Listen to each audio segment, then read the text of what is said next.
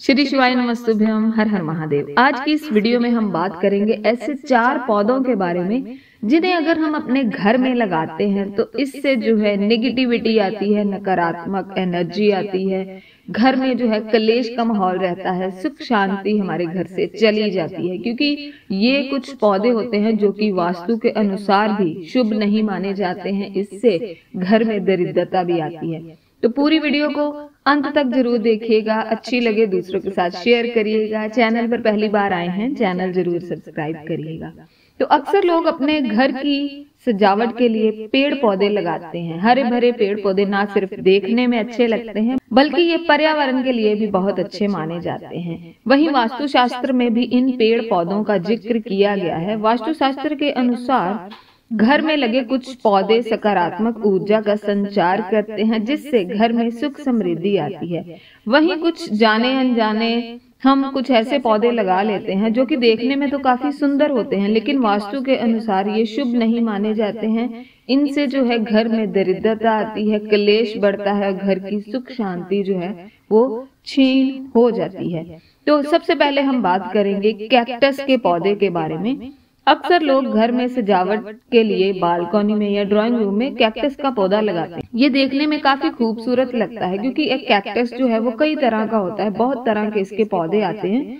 लेकिन वास्तुशास्त्र के अनुसार घर पे कैक्टस का या कोई भी कांटेदार पौधा नहीं लगाना चाहिए। इन पौधों से नेगेटिव एनर्जी घर में आती है साथ ही परिवार में कला कलेश बढ़ता है रिश्तों में कड़वाहट आती है।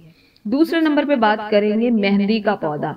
मेहंदी जो हाथों पे लगाते हैं, उसी मेहंदी का पौधा जो है, उसे घर में लगाना शुभ नहीं माना जाता है। वैसे तो मेहंदी को शुभ माना जाता है। हर मांगलिक कार्य में, विवाह में या फिर कोई भी शुभ कार्य हो तो मेहंदी हाथों पे लगाए तो उसे शुभ माना जाता है। लेकिन इसका जो पौधा है, उसे घर में लगाना शुभ नहीं माना जाता है, क्योंकि इस वास्तुशास्त्र के अनुसार घर पे अगर मेहंदी का पौधा लगाएँगे तो इससे जो है नेगेटिविटी आती है। ऐसा कहा जाता है कि इस पौधे पर बुरी शक्तियों का वास होता है और ये पौधा जिस घर में रहता है, वहाँ पर नेगेटिव एनर्जी जो है वो बढ़ने लगती है। तीसरे नंबर पे बात करेंगे पीपल का पौधा। पीपल के पेड़ को बहुत ही पवित्र और पूजनीय माना जाता है।